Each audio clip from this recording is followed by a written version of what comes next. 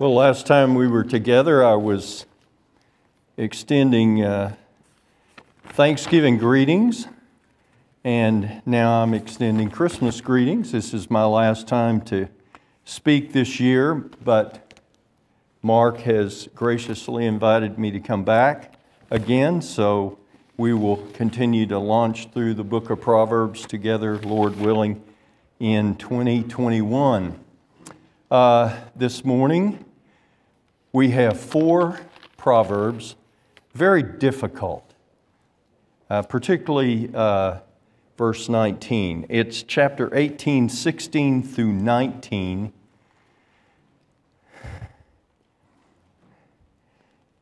And if you're an attorney, uh, have a legal mind, these uh, proverbs particularly would, uh, would be resourceful for you.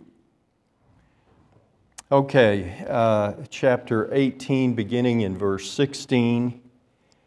A person's gift makes room for him and leads him before great people. That's an interpretive question there. I thought it would be rather straightforward, but it's not. 17 uh, and really, the way you take and understand verse 16 has a direct effect on verse 17. In 17, the, the first to present his case in a dispute seems right until his opponent comes and cross examines him. Here's 18. The lot puts an end to conflict and separates powerful opponents. And finally, 19, an offended brother is like a strong city, and conflicts are like a bolt. You probably have barred gates, bars, uh, are like a bolt of a citadel. I'll explain bolt to you if you're not familiar with it.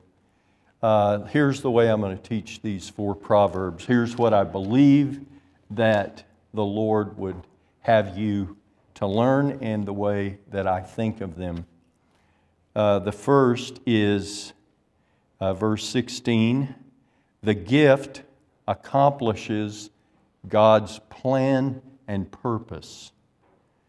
The gift accomplishes God's plan and purpose. 17 Real wisdom listens to both sides. Real wisdom listens to both sides. Here is 18. A lot, uh, the Lord's guidance leads to discovery and peace.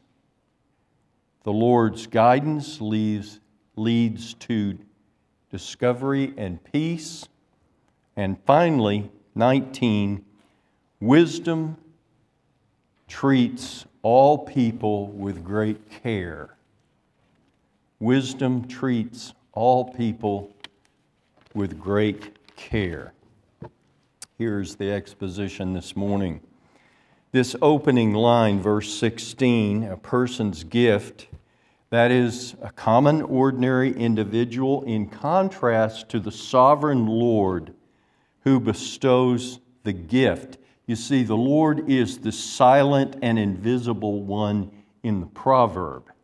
We think theologically about these proverbs, and we think in terms of everything originating with the Lord Himself. Now, here's what makes the proverb difficult the word gift. It's rather generic. It could be a material benefit, and it's used that way in Genesis 34 12 by Shechem to Jacob. Uh, or it could be taken as a personal talent. Uh, if we took it as a material gift that would gain access and unjust advantage, then verse 17, our second proverb, would add to that discovery. We know what that idea is. It's called pay to play. Your money your gift, whatever it is, gains you undue access before great people. I don't believe that that's what the word gift means in this particular proverb. And I'm going to try to demonstrate that to you by using the Reformation principle of interpretation, comparing Scripture with Scripture. And that's the way that we interpret by saying that the Spirit of God spoke over here, the Spirit of God spoke over here. So now our, our question in this passage, or our word in this passage, our phrase in this passage, will be aided because the Spirit of God doesn't contradict Himself.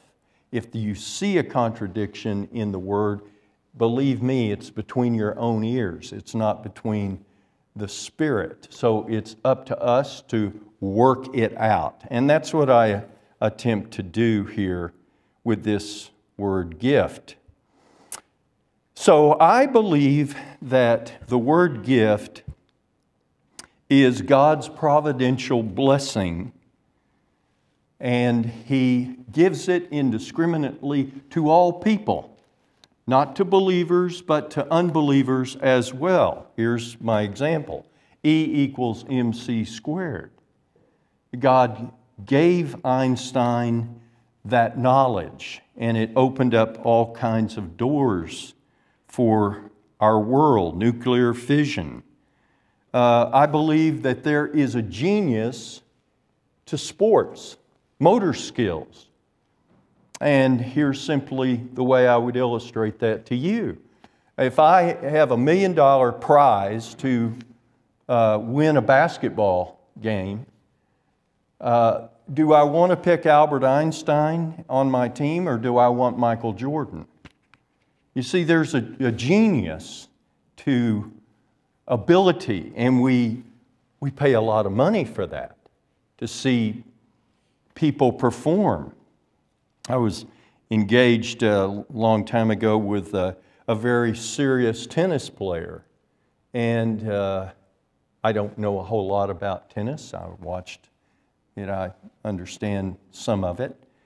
And he said, No, you, you don't understand. Roger Federer, he makes shots that I've never seen before. I don't think anyone's ever seen before. Well, see, that's genius. And, uh, and so we go back to Dan Duncan's uh, great phrase God makes men smart to do smart things. And it's not just for believers, it's for unbelievers, but the key is it's accomplishing God's will and purpose. Uh, here's the illustration Genesis 4 Cain. Now, the curse of God was upon him. He was a restless wanderer in the earth, but what did he do? He built cities. And technology expanded as a result of him in the world. Arts, music, all came from him as a worldling. So it's just a generic gift, and that's the way I understand it. Now, here is my interpretation of it to support that that it is God's plan and purpose to guide and to lead, and that's why He gives them.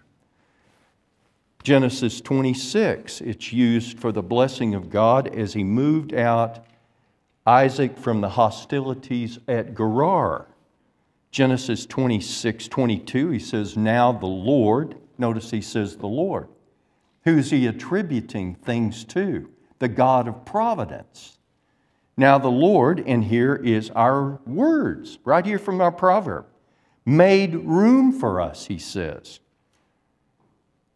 Now, that, that is, uh, he's attributing the providence of God, the sovereignty of God, to his experience.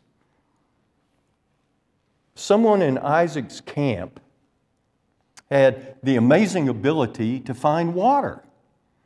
I, uh, I, doubt that it was Isaac himself because at the end of that chapter, he's just sitting in his tent twiddling his thumbs. And they come in and said, We found water again. So we've all benefited from being around being in a group, a team that has very gifted people for gifted things. God makes men smart to do smart things. Now, here is line two uh, talent, gift from above. Look at these words leads him. Those words are used by David in Psalm 23. Leading, guiding David, the great shepherd, leads him and guides him.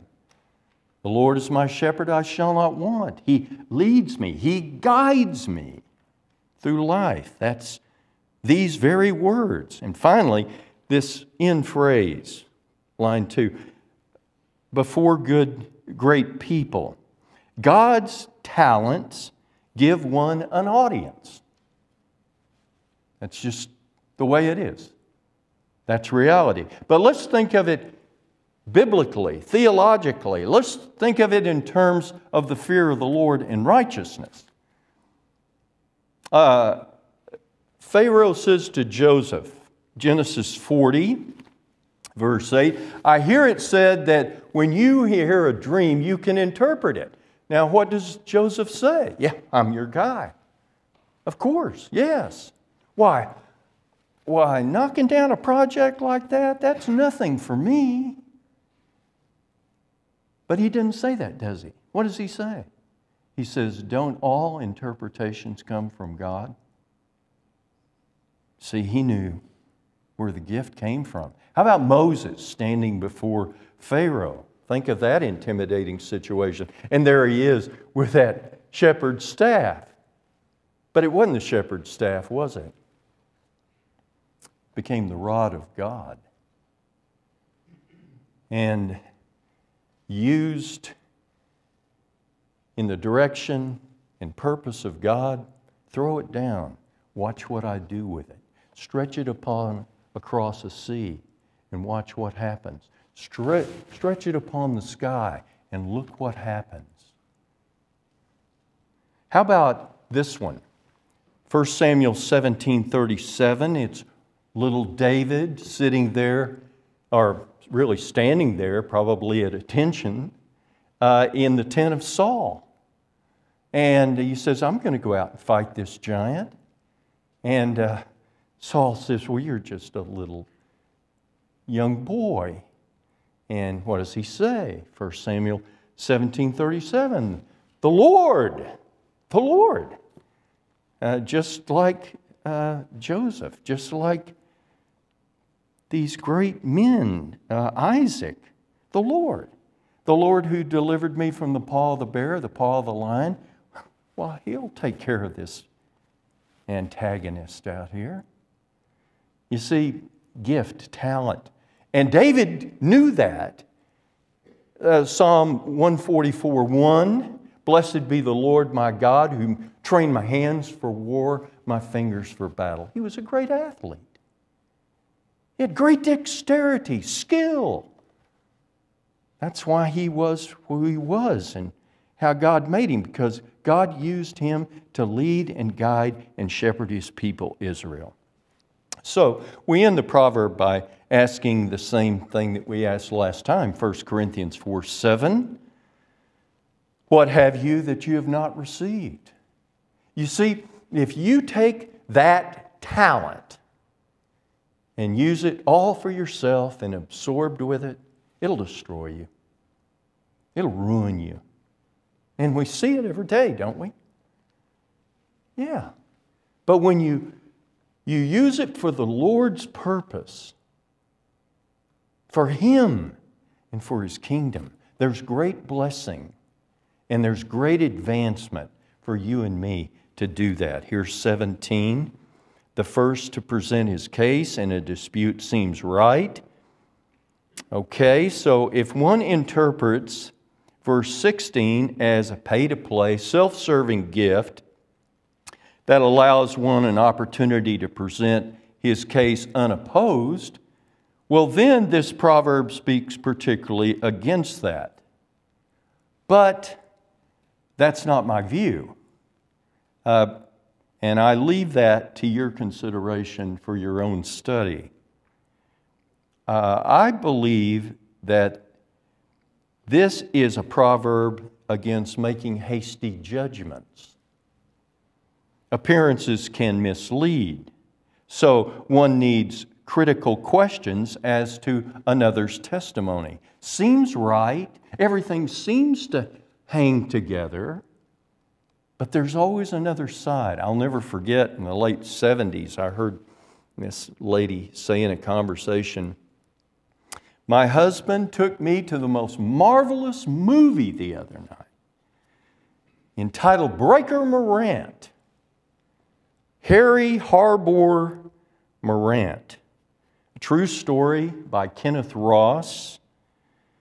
A movie about a military trial, Morant uh, in a court martial, 1902, and several of his men. It won a slew of awards, so well done. I recommend it to your viewing pleasure.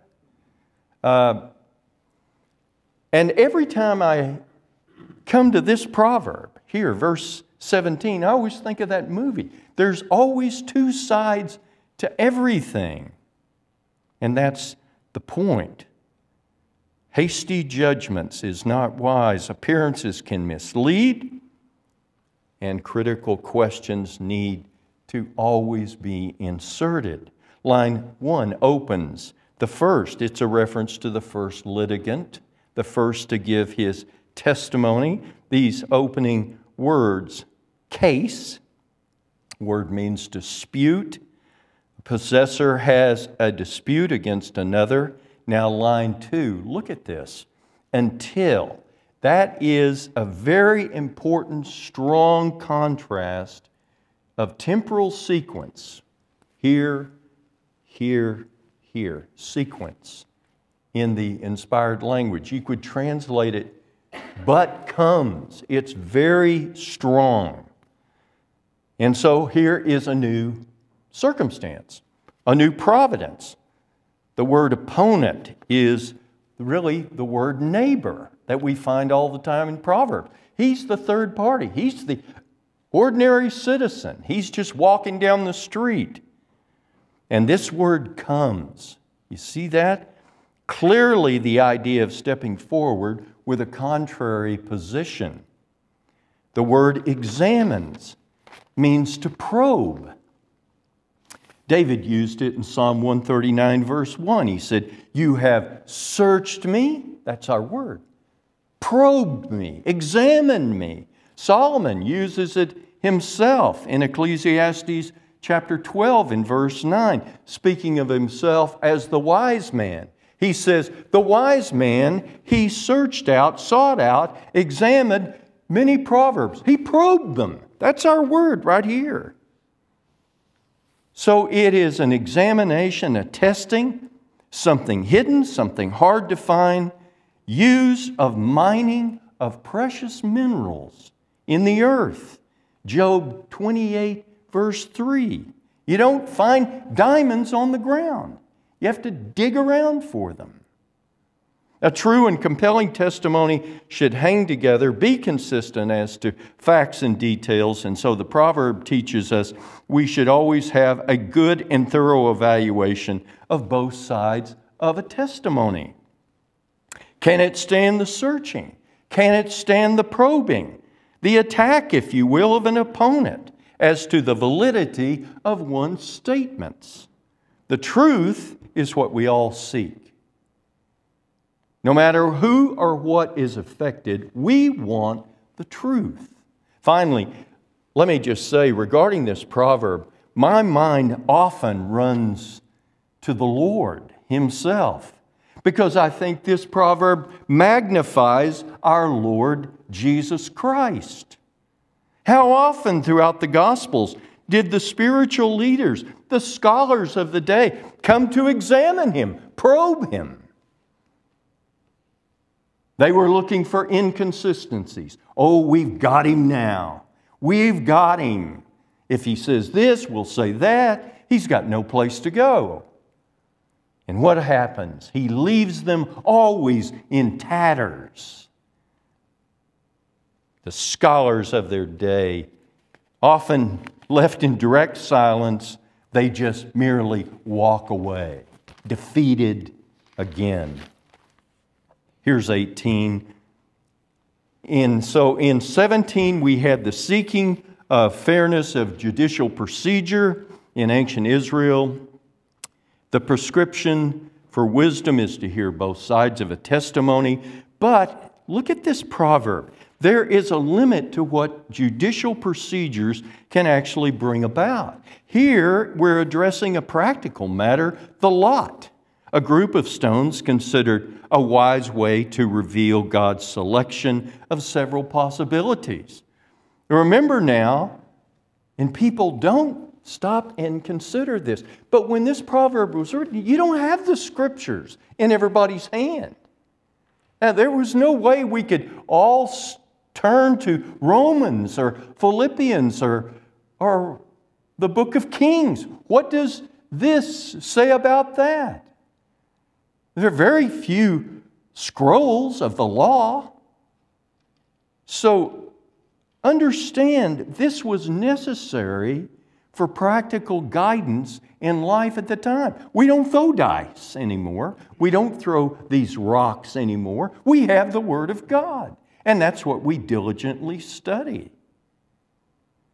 So this isn't like Las, Las Vegas dice. These are godly people trusting the God of providence to resolve conflicts among the powerful. If a guilty party could not be identified among the wise, then they pulled out the lot and they used it to isolate the offender. And Dan just gave us that from the book of Joshua with Achan recently. This word conflict, here we've seen before, it would represent a legal dispute between two parties.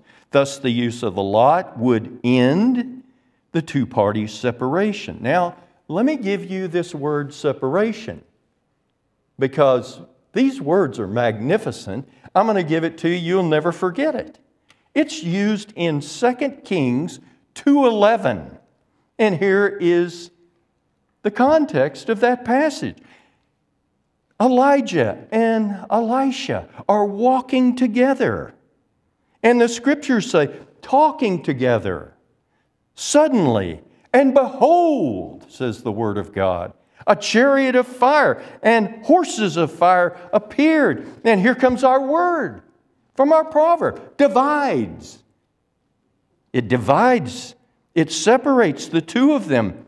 And Elijah went up to heaven in a whirlwind. That's divided, separated. One went to heaven, one remained on the earth. Now, if your translation has the word between, just realize that's been inserted. That's not necessary for the text at all. The text just really says divide, and that tells us the whole story. Look at the proverb, it ends with these words powerful, powerful. The adjective powerful, it could be a reference to physical prowess. The word is used that way in many contexts, but here we understand the immediate context is probably a person of considerable wealth, influence, power. Here's the point God judges us in divine providence. He judges, and be sure of this no man ever gets away with anything. You see, that's the announcement of the wicked man, Psalm 10. He doesn't see, he doesn't know. I'll do what I want. But he does see because he's very much alive, just not alive in your own mind wicked man. No, he does see. Here is something I think you'll find interesting. Two places in the Old Testament this phrase is used May the Lord judge between you and me. Let me give those to you. The first occurs in Genesis 16 5. it is Sarai telling Abram, I put my slave Hagar in your arms, and now she despises me. The Lord judge between you and me. So, what happens after that?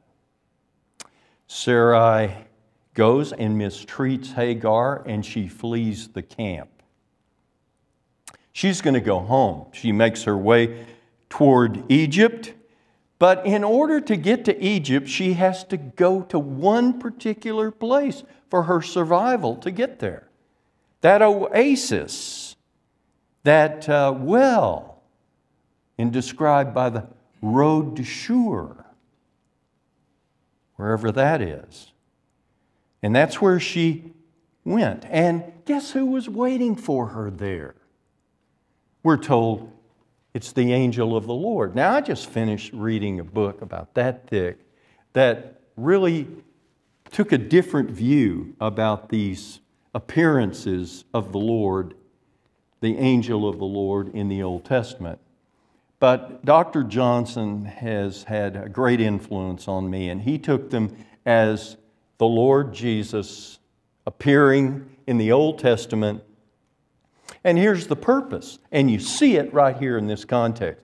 He appears because he's moving his plan forward with both the saved and the wicked. He is moving his plan forward. So I, I take the angel of the Lord to be the Lord Jesus himself, moving history forward.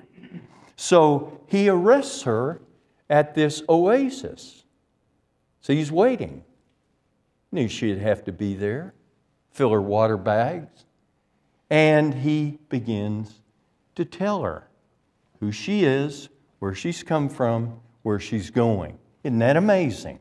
He knows everything.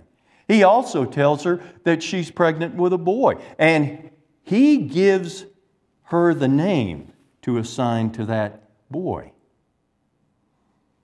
Then he tells her a bit about his character. He's a wild man, he's a donkey. And then he says something unbelievable. He will have many descendants. Now you go home back to the tent where you came from and you submit to Sarai. Now, let's think, let's go to this scene. Sarai over here. Uh, from the day that that morning when she found out that Hagar had run and was no longer in the camp, it was a magnificent day for her. She was so happy. Please, what a burden. This is all gone. Never again.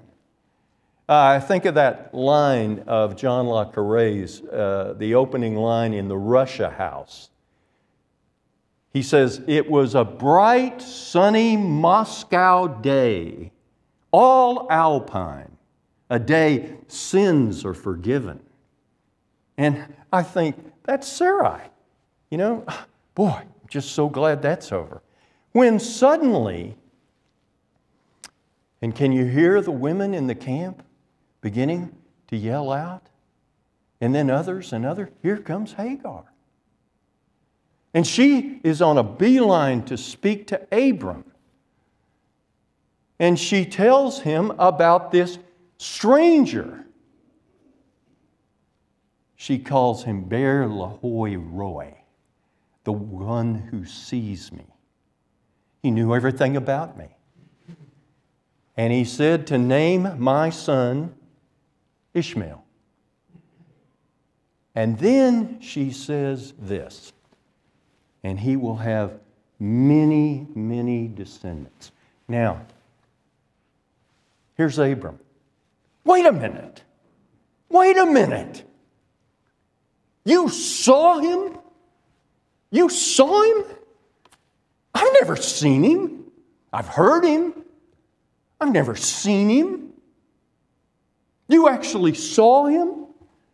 And, and his pronouncement of many, many generations of children. Those are my promises. Those belong to me, and he was giving them to you?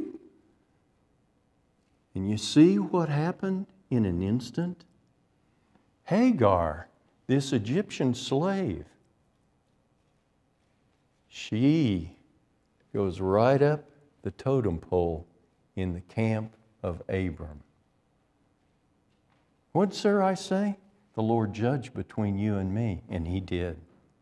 Can you think of anything more humiliating for her? Now, she's there, and she's honored. Here's the other place it's used 1 Samuel 24 12.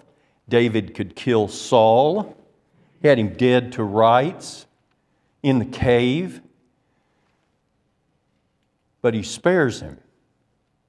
He lets him go. He lets him go so that he will be his enemy next week and next month and pursue him and continue to hunt him down. He lets him go. And David pronounces these words The Lord judge between you and me. And he does. And how long after this that Saul is on Mount Gilboa and the Philistines are coming down and pressing in upon the army? There go his sons death, death, death. And finally, here's Saul. Now, in a panic, he commits suicide. And the Philistines go. And they called him God's king. What a joke. Commits suicide. In David's words, the Lord judge between you and me. What happened to David? Here's about, here's about the death of Saul. He goes to Hebron and he waits upon the Lord. He doesn't crown himself. 2 Samuel 5 all Israel assembled together and made David king. The game came to David. David didn't open his own doors. And that's the proverb. Look, he judges. I'd be afraid of what the Lord God would do to me if I took advantage of you, lied to you, stole from you the Lord judge between me and you? He will. He will, and it's emphatic in His word. Here's 19. An offended brother's like a strong city. So you might have the, these words bars or barred. It's the word bolt. Now, what is a bolt? A bolt is that big, thick piece of timber that crosses the gate on the inside of the city. That's the bolt. It's what holds the gate together. Now, here's what makes this proverb so difficult. Look, you have two similes here, which is the word like, comparisons. Two times, a strong city, barred gates, in comparison to an offended brother. What is that all about? That's what makes it so difficult. Plus, there's this word here we'll look at in a moment. So, here is the wise procedure for determining the accuracy of facts and testimony, basically cross examination. We looked at that, and now we're settling disputes if we can. We tried with a lot, but this one is the real difficulty. The offended brother is the party involved in the conflict. This word offended, this is the another thing that makes this so difficult. Very rare word used of, uh, of suffering loss to suffer a breach in friendship. There is a unique pain of disappointment brought about by a betrayal of friendship and thus the offended party. For David, it was his trusted advisor, confidant, Ahithophel. He was the one who betrayed David. He was the brain power behind Absalom's rebellion. That's 2 Samuel 15 and 16. Here's the way David wrote about it. You don't think this wasn't painful? Psalm 41, verse 9, he writes, My close friend, whom I trusted, who ate my bread, has lifted up his heel against me. This phrase, my close friend, literally a man of peace. The idea, he was considered by David to be someone who would be committed to peace and welfare for not only his kingship, but for the laws of the land, the good of Jerusalem and Israel. A person who truly cared. This word trusted, batak, very famous Old Testament word, whom the king felt safe and secure with. He could lean upon. This man supported him. That's trust. The text says in Psalm 41 the eater of my bread, eating together the picture of communion, fellowship, intimacy. Now, let me say, we're just in the introduction here, but let me just say, just for a moment, that I want to speak to the young men that are here in this class today. Uh, some young men do come in here and sit at the back normally, slide in. And uh, I want to say, I've walked a mile in your shoes. I know exactly where you are. Growing your families, it's no secret how expensive children are in life. And it's no doubt how difficult it is to earn a living, sometimes like looking through limestone. That's the market out there. I think of Jacob's words to Laban. Genesis 31:40 the drought consumed me the cold by night the sleep departed from and sleep departed from my eyes. A particularly important verse for men that work that go out there and labor in the marketplace that are familiar with the daily hardships that no one accounts for. And they don't account for them because, by and large, we're bottom line people. I don't care what your problems are, I want results. No excuses. And Jacob doesn't give them. And that speaks to his character. There's a certain maturity, I think, with that. Now, here is what I want you to know regarding Ahithophel, because I used him as an illustration. And I think this is instructive. He was never wrong, ever. Ever. Ahithophel. He was a precise, acute thinker. God gave him his prodigious mental capacities. It's called a gift. And here was his gift. He knew if you did this, that the reaction would be here, and here's how you counter it. Why, if he were alive today, there wouldn't be bank vaults big enough for his gold. This man is so valuable as a, a thinker. It's like looking at the future by listening to him. No record of his mistakes. Always saw in advance certain outcomes. And he was the brains behind Absalom's rebellion. What, what was that all about? Well, uh, Absalom chases David out of Jerusalem. He consolidates political power with the military, chases David out, and uh, and now here's the picture. You got this punk kid with lots of hair sitting on a big throne. Now, what are you going to do?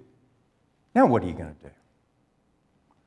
You see, David sent wise counsel to conflict against Ahithophel. What are you going to do, big boy? Well, uh, Absalom, he looked him immediately to Ahithophel. Ahithophel says, Get up! Get up! Don't unsaddle your horses. Go get him. You've got him on the run. Go get him. Go get him now. Here was the other counsel. Oh, wait a minute. Man, you just took down a big acquisition here. You need to consolidate. Give everybody a little rest. Fortify yourself politically. And then you go get him. You see, Ahithophel knew you don't let Joab get out into that forest. Then it becomes guerrilla warfare, and you'll be a dead man. That's exactly what happened. Now, I said to you young men, I know exactly where you are. But the reality is, God knows exactly where you are your bills, your tomorrows. And here's what I want you to know you are going to face the Ahithophels in life. They're going to be out there. They're going to be out there in your professional life, they're going to be out there in your personal life. They're going to be in the church. I've been attacked both ways. And here's what you learn you just trust the Lord, and He gets you through. He's the one that provides, He always will. Trust Him, and you'll learn what a magnificent future He has for you. Not because you're bright, Ahithophel was bright. It's because you're living for His glory. So here's the simple proposition for you invest in the Word of God, invest in Believers Chapel, invest in prayer, invest in service one to another. Because the Bible says here's your logic God's no man's debtor. He's not going to owe you anything. He's going to so bless you for your service and your goodness and your energy and your dedication and your focus. He's not your debtor. No, Proverbs 2 7, he keeps victory in store for the upright. Those are the victories with your name on it in a lockbox, all locked up just for you to show you. You see, you see, your faithfulness I'm going to give back to you a hundredfold in spades over and over in your life. Those are the victories. Now, let me address this proverb. That was your introduction. In the top line, look at the proverb. We have the first like, the comparison. The offended brother is compared to the strong city. Strong city, let's think of strong cities. Okay, Jericho. That's a strong city. It was conquered. Uh, how about Jerusalem, held by the Jebusites? Remember, they mocked David and they mocked Israel. But they got conquered. How about Babylon? No one can break the walls of Babylon, but it got conquered. Yeah. So it can be done, but the proverb is informing us of the enormity of the task. This is a proverb of simple reality. Here's the second comparison like conflicts. The timber bolt at the gate. What's the gate? Well, if you look at it from a strategic position, the gate is the weakest point in the city wall. That's why you need the bolt. But it's still the weakest point. So the powerful here of the conflict would be hostile forces. They ply their attack to the weakest point. So, what is the weakest point? This interpretation is difficult because the two comparisons really don't give us very much. But here is what I think the proverb is saying. Here's what many conservatives have kind of amalgamated into my mind that makes sense and I'm comfortable with it. Let's begin with this simple proposition. Romans 12, 18. The Apostle Paul says, As it depends on you, be at peace with all men. See, it's not an issue of forgiveness. In your mind, it is simply this is reality.